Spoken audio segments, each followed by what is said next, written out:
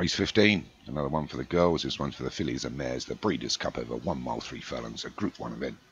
Number one, Anne Oldham for Axe Cherry. Two, Golden Gate Bridge for Paul Rhodes. Three, Gravity for Joshua Sutton. Four, Budgie Smuggler for Django. Five, Daddy's Little Girl for Paul Rhodes. Six, Deadlock Shockwave for Django. Seven, End of Now for Hilltop.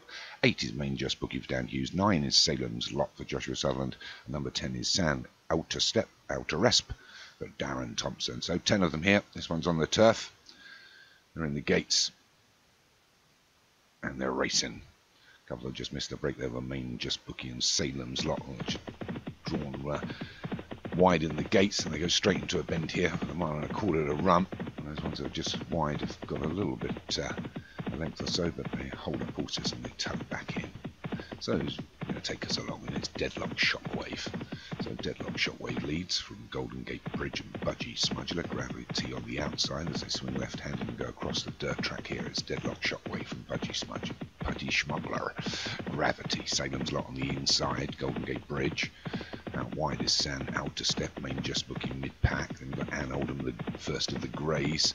Then Danny's little girl towards the rear, and Road Silks out wide of always end of now the grey. But it's Deadlock Shockwave that's going to lead them past the winning post for the first time with a circuit to go from Budgie Smuggler.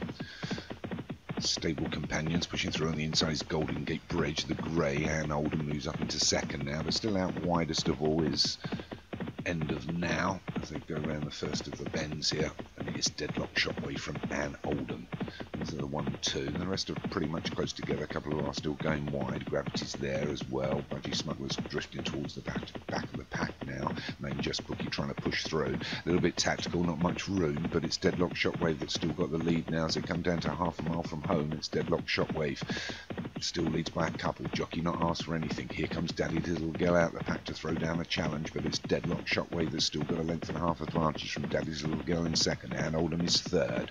Main Just Bookie hanging on for fourth. San out to a step is there. Out to rest pushing through now is Gravity as they hit the top half of the bend and it's Deadlock Shockwave still from Daddy's Little Girl. Gravity running on now. Main Just Booking. Budgie Smuggler trying to push through again, but it's Deadlock Shockwave's got about two lengths, three lengths advantage with two furlongs left to run. It's Deadlock Shockwave from Daddy's Little Girl. Gravity. Budgie Smuggler. It's going to be between these, I imagine, but it's Deadlock Shockwave inside the furlong and a half. Deadlock Shockwave from Daddy's Little Girl. Gravity trying to make up some ground. Budgie Smuggler, but Deadlock Shockwave's led them from pillar to post here with half a furlong left to go. They're not going to catch him. This is going to be the Breeders' Cup filly and mares going to Deadlock Shockwave for Django.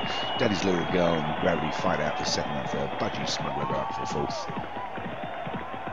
just wait for the final card to come. And it is a win for Deadlock Shockwave and Django. Well done. Daddy's Little Girl for Paul Rhodes was second. Gravity for Joshua Sutherland was third. Budgie Smuggler for Django also was fourth. And End of Now for John Morgan was fifth.